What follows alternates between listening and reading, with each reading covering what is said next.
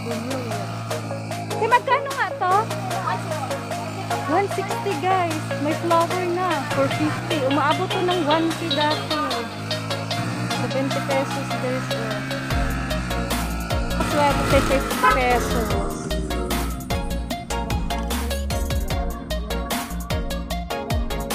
Dito pa rin tayo sa Pulong Bunga mga ka-garden. Ito yung name ng garden nila. Ayan. Po kami. Yung berry, oh, yung Ayan. Wow. Ha?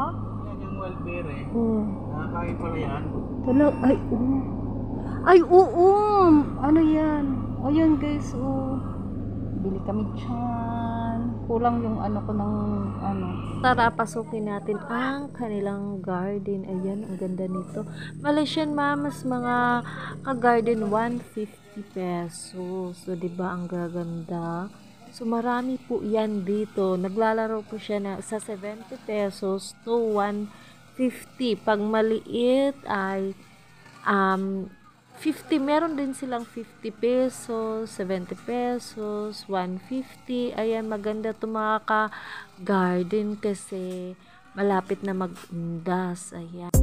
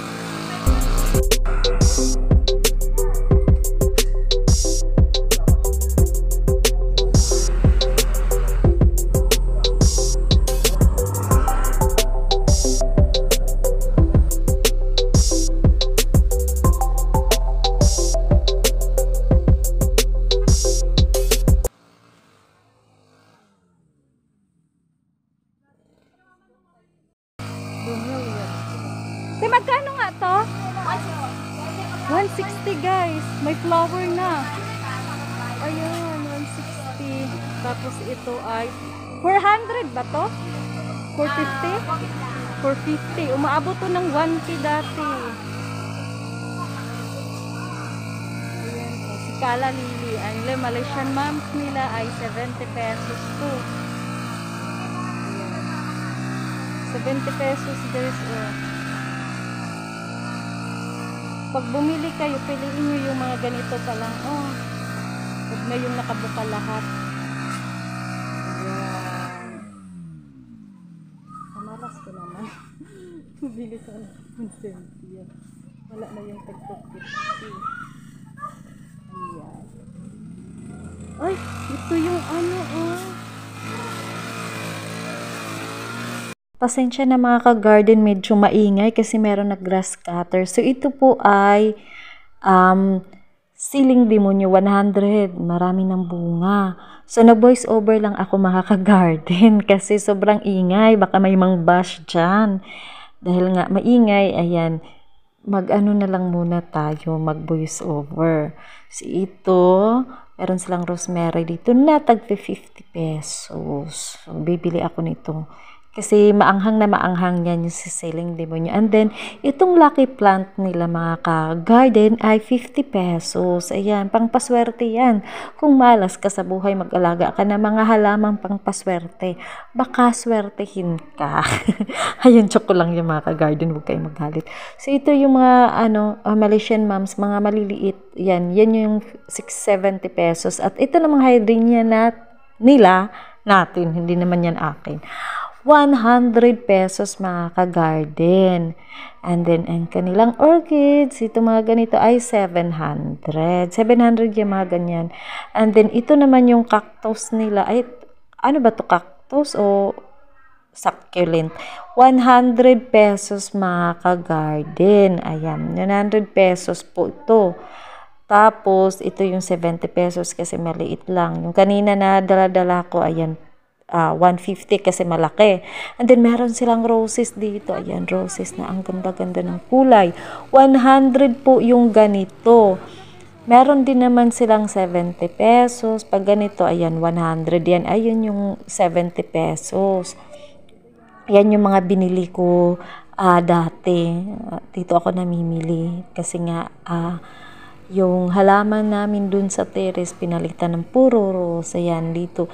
70 pesos yung mga ganito, mga ka-garden malago naman yan. Ayan, sulit na din. And then, ito naman yan, tag 40 to 50 pesos. Tapos mga ka-garden, ayan, meron silang mga succulent dito na jade plant. Jade po ang tawag nito, pang paswerte din yan, lucky plant. So, meron ako din yung mga ka-garden. Malago po siya, 100 pesos. Ano, ito naman si succulent din, 100 pesos. Ganda tong ah, i-indoor ito siya. Oh. Yan, si jade plant. Pwede yan siyang i-indoor mga ka-garden. Ang ganda ng mga ano nila dito, oh, mga bulak-bulak. Laging may bago. Tuwing Saturday may bago. And then ito namang mga hybrid na tawag niyan gumamela nila. Naglalaro sa 120 to pataas na yan. Depende mga ka-garden. So, pakita ko sa inyo ulit. Ayan, di ba? Ang ganda. May nakita ako dito mga ka-garden. Oh, sarap sa mata tignan. Ayan, ang kanilang roses. Dahil tapos na kami nagpa-plant shopping, ito na yung nabili namin dito sa pulong bunga mga ka-garden. Ayan. Sa pulong bunga at saka sa ulat. Daanan namin to sa Racal Garden kasi mamimili kami ng ano, lupa. So, ito yung garden niya, mga ka-garden. Ayan, papasok po yan sa ah, ulat. So, nasa bungad yan. So, ito yung mga halaman niya dito. Ayan, meron 70. Yan, 70 pesos. 70 pesos yung 3 star. And then, ito naman ay 200 pesos. Ayan, oh, di ba? Ang ganda. Pwede gawin yung Christmas tree na maliit. Ayan, 100 pesos din yan. Isa siyang, kabilang yan siya sa pine tree, mga ka-garden. O, tama ba ako? Tapos yung mga aglo ni Manila, meron 70 and then meron 100. Yan, ito siya ay 70 pesos, yung mga hangin plant nila dito. And then ito mga kalateya, mga ka-garden dito ay 50 pesos. Mga kalateya niya ay 50 pesos. Yan, oh, ang ganda. Ito yung mga mamahalin dati, maabot 150 ano, magkano pa yun? Merong 170, 200. Yung mga hangin plant dito ay 70 pesos. Pero din 40. Ayan, ang gaganda. Ano ba to? Ayan. Yan, ito si...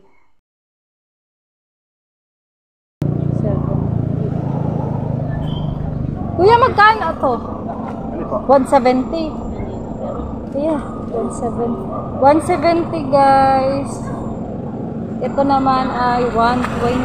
Ayan, presyo pala yun. Gusto niyo mga hangin-hangin. Ayan, 70. Yung shoes ko, naiwan ko sa sasakyan.